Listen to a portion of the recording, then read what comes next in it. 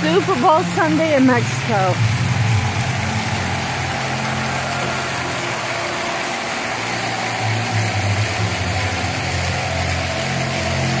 It's a big thing here. Football. I won't say what that red thing looks like, but use your imagination. Not sure what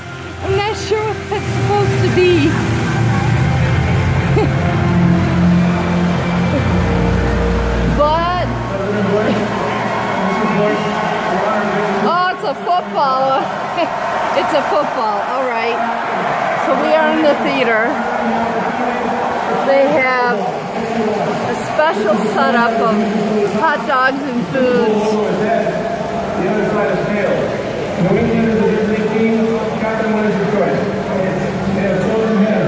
Smells good in here.